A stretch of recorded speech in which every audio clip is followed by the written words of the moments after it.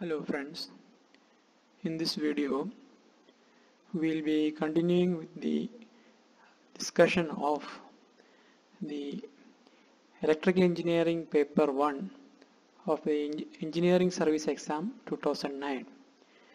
We'll start our discussion with the question number 6. The previous 5 questions have been discussed in the previous video. Now, in the sixth question, they have asked us find the voltage. We have given the circuit, and they have asked us to find the voltage at node A. This is node A with respect to zero for the circuit as shown. This is the zero. So what they have given us over here is two current sources. Now moving on to the solution.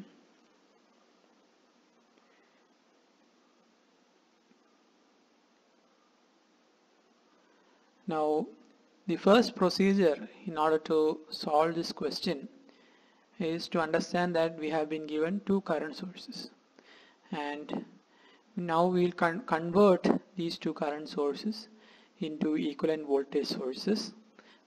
We so this 20 ampere current source and this 2 ohm resistor will combine to form this 40 volt voltage source and its source impedance would be this 2 ohm resistor. So In a similar manner, we will be applying the same methods for this 10 ampere current source. So this 10 ampere current source in parallel with its uh, source impedance of 1 ohm would be replaced by this 10 volt voltage source in series with the uh, source impedance of 1 ohm. So those calculations have been shown over here and over here we can see that the voltage VAO would be represented at this point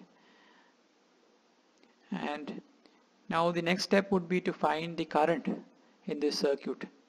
Now one thing we have to note in particular is the polarity of these two voltage sources that we have written.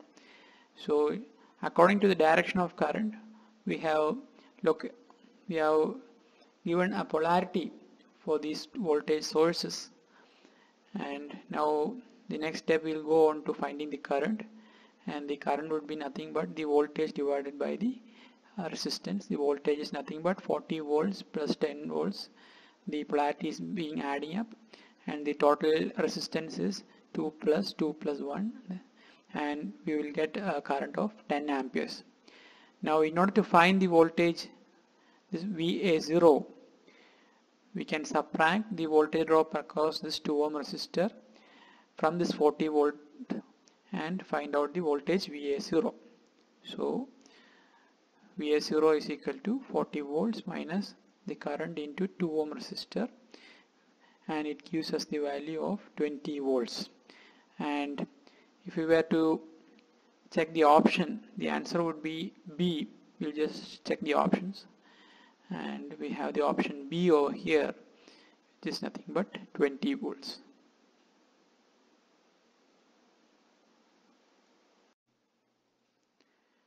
Now we'll move on to the seventh question.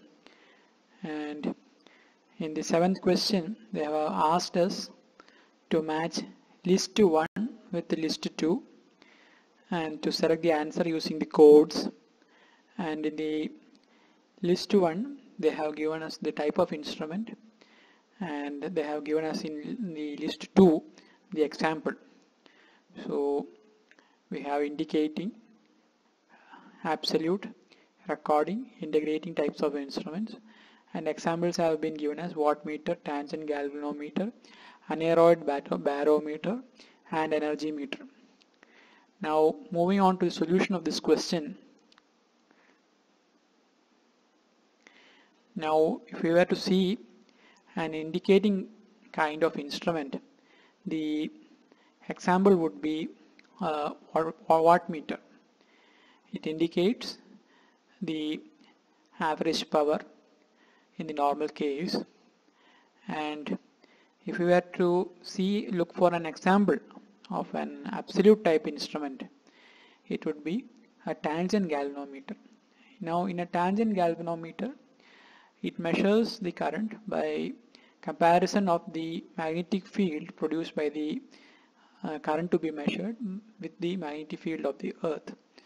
So the basic principle of an absolute instrument is that it uh, does the measurement by comparison with some other quantity. So now if we look for an example of a recording type uh, instrument, our uh, answer would be an aneroid barometer and in recording uh, instruments what we get is a record of the measurand, measurand or the measured variable versus time. So we get a continuous record of that and next would be the integrating kind of instruments and the example is energy meter. Now energy is nothing but the integral of the uh, power with respect to time. Over time over time when the power is integrated we get energy. So if we were to look at the options the answer would be A. And uh, we can see over here this would be our answer this option A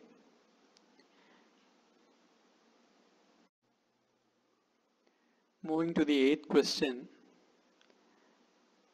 they have given us a mechanical system equivalent equivalent diagram and they have asked us which of the following is the correct free body diagram for the physical system as shown in the figure above. Now this is a mechanical translational system. There can also be mechanical rotational systems and these two represent the spring.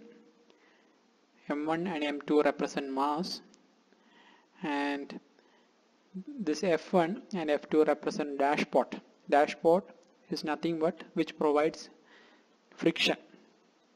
Now these masses are rolling over uh, rollers so the friction is zero over there. The masses have been assigned displacement y1 and velocity v1 for m1 mass and for the mass m2 they have assigned a displacement of y2 and velocity of v2. Now if we were to analyze this mechanical translational system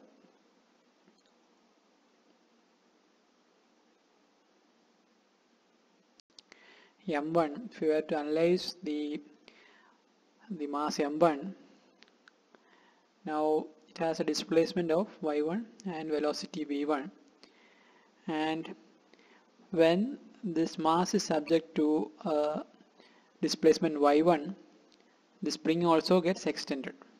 The spring constant is k1 so when the spring gets extended it will exert a force in the opposite direction. And that uh, that is what has been shown over here. And that force would be given by the value k1 into y1 the force the opposite for opposing force given by the spring would be nothing but the spring constant that is k1 multiplied by the displacement of the spring extension of the spring that is y1 now in a similar manner if we were to see the force exerted by this dashpot the force exerted by the dashpot opposing the force that is applied over this mass and the displacement of this mass would be nothing but f1 into the derivative of the displacement. The derivative of the displacement is nothing but the velocity. So that is what has been shown over here. So these two forces oppose the uh, motion of m1 in the direction y1 so and if we were to see the other two forces associated with these two elements the spring k2 and the dashpot f2 now if the if the displacement y2 is in fact uh, if it is greater this displacement y2 is the displacement of the mass m2 now if the displacement y2 is greater than displacement y1 we can see that the spring is in fact extended is in, in this direction. In this direction the the spring is extended. So this force would be applied on this mass m1 also and that force is given by k2 into the k2 into the difference of the displacement on the two ends of the spring that is nothing but y2 minus y1 the two ends of the spring are subject to two different displacements and that is what has been shown over here. Now the dashpot also can be analyzed in a similar manner. Uh, the only difference being that here we'll take the derivative of the displacements and so the force would be F2 into y2 dash minus y1 dash. And y2 dash representing the derivative of the displacement of displacement y2 now if we were to analyze the force m2 now the force F is applied on this mass m2 and the the two forces also produced by the spring and the dashpot oppose this force and these forces are given by for given by for the spring k2 into y2 minus y1 which is nothing but the difference in displacement on the two ends of the spring. And in a similar manner the force exerted by the dashpot is given by F2 into y2 dash minus y1 dash. Now one thing we have to note is that the I have shown over here this does not represent any kind of force but just the displacement and the corresponding velocity. That is why I have over here put a circle over there. The actual forces acting on this on these bodies m2 and m1 has been shown by corresponding arrows. So if we were to analyze the options the this would be the correct option. The option A we have four options over here and the option correct option would be the option A.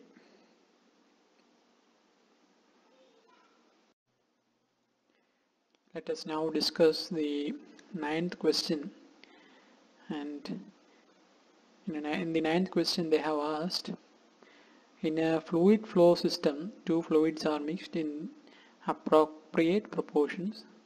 The concentration at the mixing point is y of t and it is reproduced without change td seconds later at the monitoring point as b of t. What is the transfer function between b of t and y of t? And they have given us several options, four options they have given us. Uh, we will now analyze this question and try to find out the solution. Now the input concentration is here defined as y of t and the output concentration is defined as b of t. Now they, they have told us that it is re reproduce exactly the output is nothing but a reproduction of the input except that there is a time delay td and what they have asked us in the question is the transfer function between the output and the input b of s divided by y of s. Now I have drawn over here a diagram showing the output and the input it is a simple example of how two signals may be time delayed. Now over here I have shown the input y of t. This is the signal y of t. And this is the output b of t. And the b of t is nothing but displaced y of t by a time delay td and in such a case we can write this b of t as y of t minus td minus u of t minus td now this u of t as, as you may know is the unit step function delayed by a time delay td. Now we can take the Laplace transform of this uh, b of t.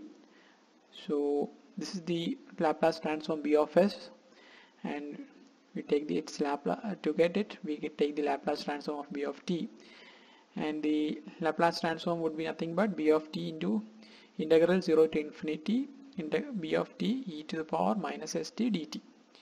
Now this expression for b of t can be substituted over here and we get this expression the integral 0 to infinity y of t minus td u of t minus td dt e to the power minus st. Now we make a substitution. T minus td equal to k. And based on this substitution we'll have some other substitutions also. One being that t is equal to k plus td we can derive these things from over here. And the limits as t tends to 0 the uh, k, k would tend to minus td and as t tends to infinity the k tends to also infinity and dt also equal to d of k. Now we make all these substitutions in this integral over here in this integral and in that now we come to the expression defining b of s as the integral from minus td to infinity based on the substitution of these limits y of k u of k e to the power minus sk into e to the power minus s into td dk. Now this is a constant term e to the power minus s into td. So that can be taken outside this integral. And one thing we have to remember is that this u of k, the function u of k over here is equal to 0 for k less than 0 and it is equal to 1 for k greater than or equal to 1. This is the basic definition of a unit step function.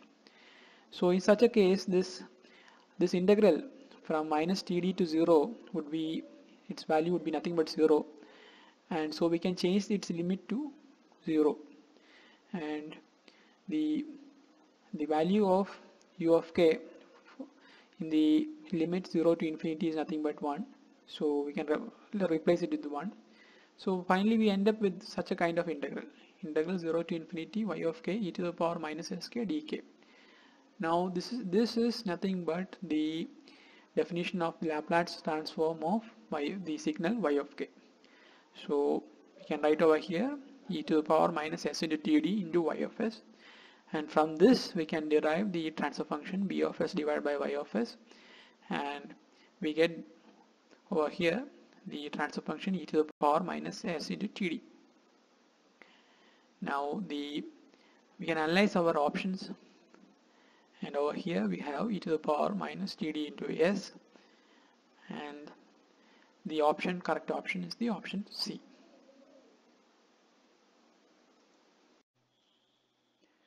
Now we'll see the 10th question.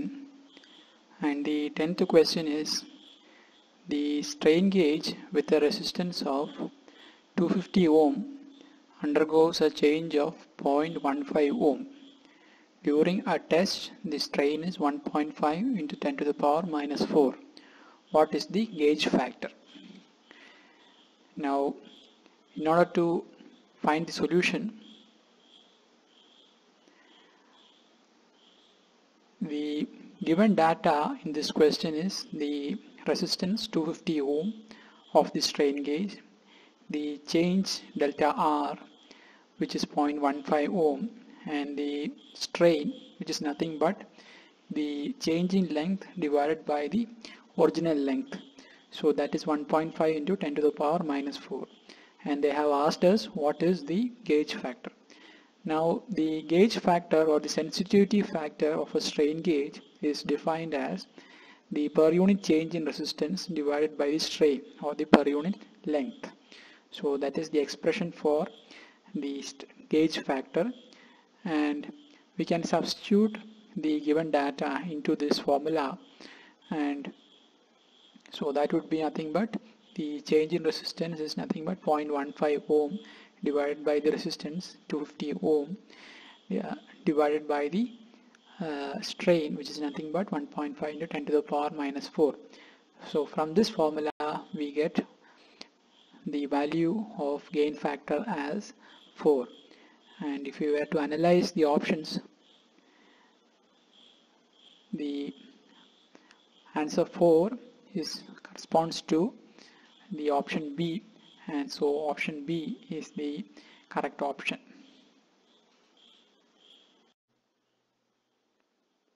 We will now move on to the 11th question and in the 11th question they have asked us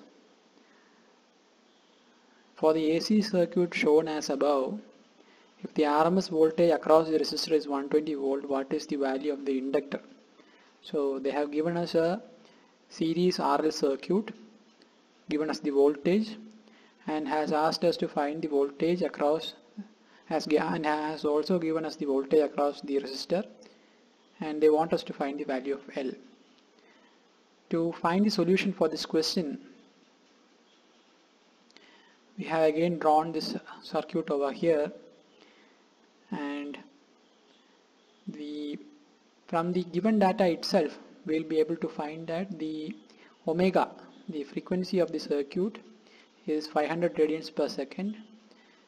The expression for voltage is given. So in that it is given as 150 root 2 uh, sine 500t so omega is equal to 500 radians per second. So the RMS voltage of the voltage source is 150 volts and if we were to find out the current through the circuit the voltage across the resistor is already given that is 120 volts and if we were to divide it by the resistance 1 kilo ohm we will get the current through the circuit as 120 milliamperes. Now we'll just see the phasor diagram of the circuit. I have drawn over here the applied voltage of the source that is 150 volt. And the since this is a RL circuit the current I which is 120 milliamps would be lagging the applied voltage 150 volt by an angle phi. And the voltage VR which is nothing but the voltage across the resistor is in phase with the current since it's a resistor and that is 120 volts.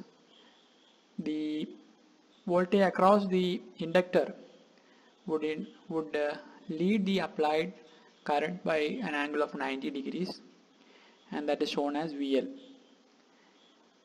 from this we will be able to uh, come to the conclusion that the voltage the source voltage is nothing but the uh, root mean square of the voltage across the resistor and the voltage across the inductor. So we follow the parallelogram law of vector addition over here. And so if we substitute the available data the available data is the voltage source voltage 150 volt and the voltage across the resistance is 120 volts. So we find that the voltage across the inductor is 90 volts now the inductive reactance of this inductor is nothing but the voltage across the inductor divided by the current. And voltage across the inductor has already been found out which is 90 volts. And the current is 120 milliampere as we found out over here. And we get the value of the inductive reactance as 750 ohm. Now from the inductive reactance and the value of the frequency of the circuit we will be able to find out the value of the inductance L. So 500L which is nothing but omega L is equal to 750 ohms and the value of L is obtained as 1.5 Henry. If we were to see the options given, we have 1.5 Henry as the option D and this will be the correct answer.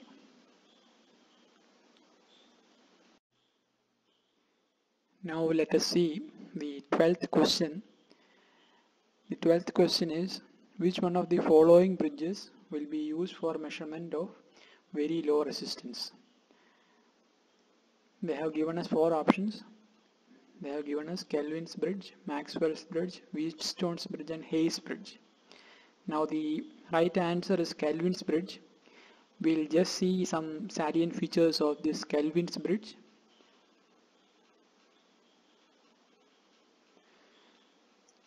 now I have drawn over here the Kelvin's bridge it is also called as Kelvin's double bridge because it has two ratio arms. Over here I have drawn Wheatstone's bridge this is a very common circuit and most of us might be familiar with this Wheatstone's bridge. It is very simple to analyze.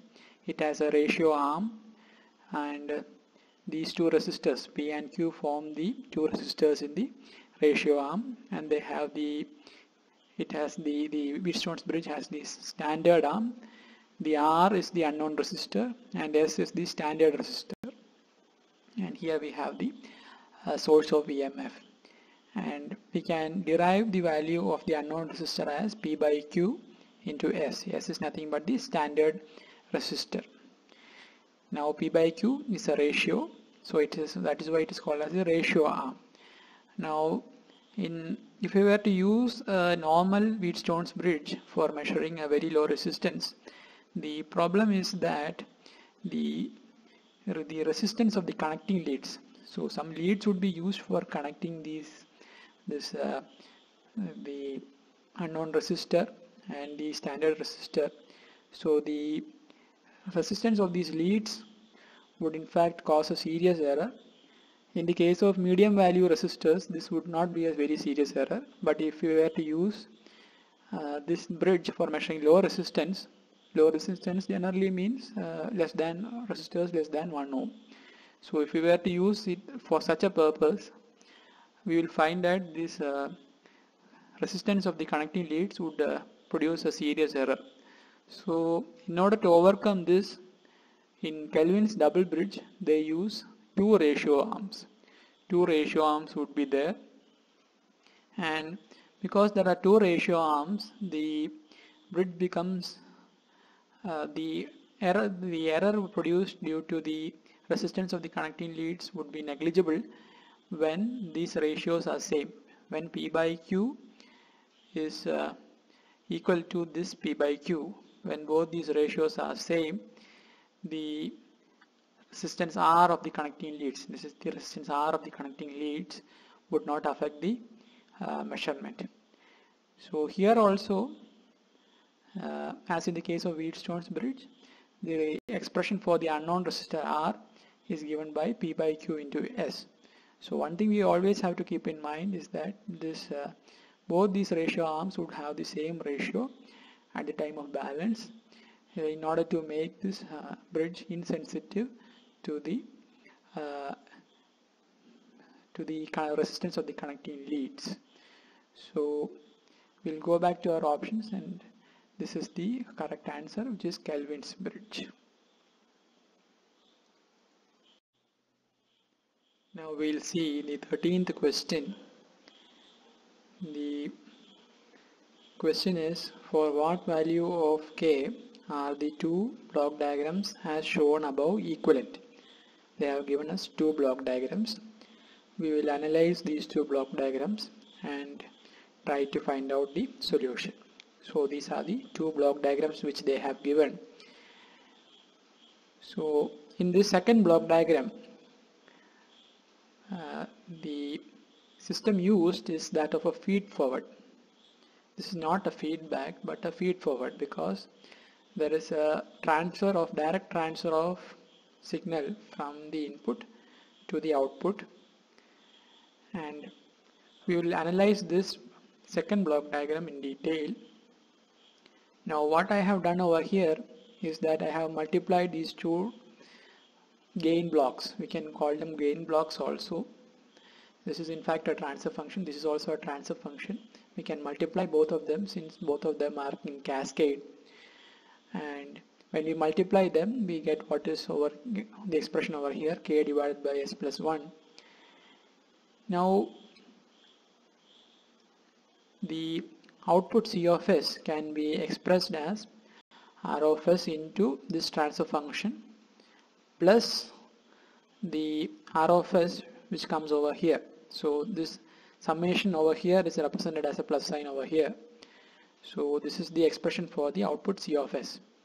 Now we can simplify this. This R of s can be taken over to the left hand side and from this we get this expression C of s the net transfer function between C of s and R of s is nothing but s plus k plus 1 divided by s plus 1 so that has already been given in the first block diagram so this is equivalent to this block diagram. So that is s plus 2 divided by s plus 1. Now by comparison of these two terms, we'll be able to make out that the k plus 1 term is equal to 2 and hence k is equal to 1. If we were to see the answers given, the value of k is what they have asked us. So we have got through our solution the answer that k is equal to 1. So this, this option is the correct option.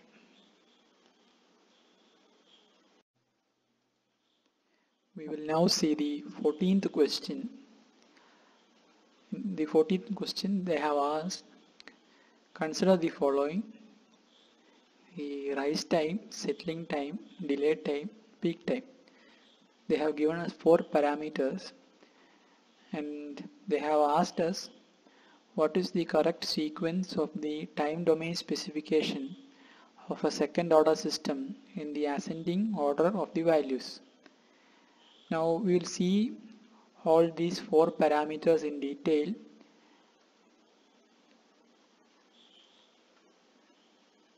I have drawn over here the response of a standard second order system to a unit step response. The system is underdamped so and I have marked over here the various times associated with this response and the first parameter we see is the delay time and the delay time is defined as the time taken by the response to reach 50% of the final steady state value. Now the since the input is 1 and since we have considered uh, a standard second order system the final steady state value also will be 1. The system is underdamped. So over here I have marked the delay time. Now the next time parameter that we will be seeing is the rise time. The rise time in the case of an underdamped system is defined as the time taken for the response to reach the 100 percentage of the final steady state value for the first time. So we can see over here that the response reaches 100 percentage of the final steady state value. That is 1 for the first time over here.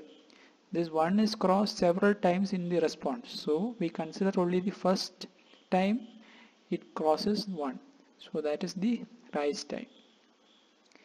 Next parameter we'll be seeing is the peak time now peak time corresponds to the maximum value of the response. The maximum value of the response is over here. This is also called as the overshoot peak overshoot. Now the times corresponding to this would be the peak time. The next parameter is the settling time and the settling time is the time taken for the response to settle within plus or minus 2 percentage of the final steady state value. So it has to settle within this band and the time at which this settling happens is the settling time. Now different band also might be defined plus or minus 5 percentage but normally the settling time is defined with respect to this plus or minus 2 percentage band. Now from this t-axis you will be able to see that the order of magnitude of this different timings. So we can see that the settling time is having the highest value then comes the peak time then comes the rise time and then comes the delay time so we have arranged over here the various times and the corresponding codes have been written over here and they have asked us to arrange it in the increasing ascending or the increasing order. And the answer to that is the option D. Option D is the correct answer. The 2 the settling time has the corresponds to the highest value and the delay time corresponds to the smallest value. So D is the correct answer for this question. Let us now see the 15th question. The 15th question they have asked the oscilloscope has an input capacitance of 50 picofarad and a resistance of 2 mega ohm and the voltage divider ratio K of 10. What are the parameters of a high impedance probe? In the four options they have provided, they have given the resistance and capacitance of the high impedance probe R1 and C1. We will now analyze this question in detail.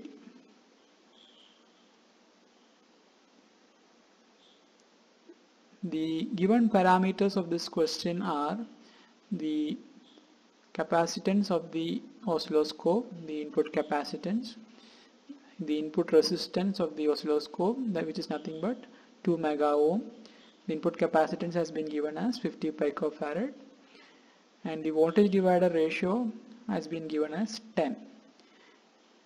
What they have asked us is the capacitance and resistance of the high impedance probe. Over here I have drawn the equivalent circuit of the high impedance probe oscilloscope combination. The C1 and R1 have been drawn over here representing the capacitance and resistance of the high impedance probe and the CO and R0 which are the input capacitance and resistance of the oscilloscope have been drawn over here.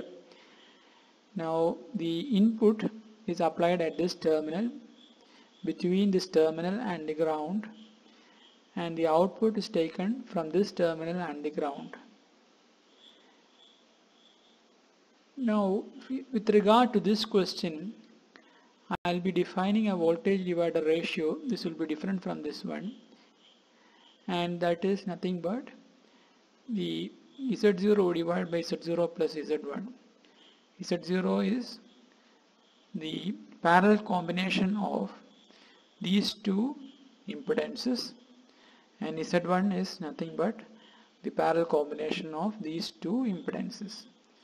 So this is nothing equivalent to nothing but the reciprocal of the given voltage divider ratio that is 1 by K. An aspect we have to remember in this case is that in order to make this voltage divider independent of the frequency of the input signal it is the ratio the ratio of R1 by R0 should always be equal to C0 by C1 this can be proven through a lengthy derivation but I have just written it the final result over here. It can be proven easily. Now this it is very important to make this voltage divider ratio independent of frequency because otherwise the voltage divider ratio would change depending upon the input signal that is applied to the oscilloscope. This variation in voltage divider ratio mainly comes on account of the presence of these capacitors. Had there not been these capacitors, the voltage divider ratio would have been just dependent upon these two resistors and it would have been independent of the frequency. Now with this result in hand, now we can consider that a DC input is applied to this voltage divider and since the this ratio is always kept true this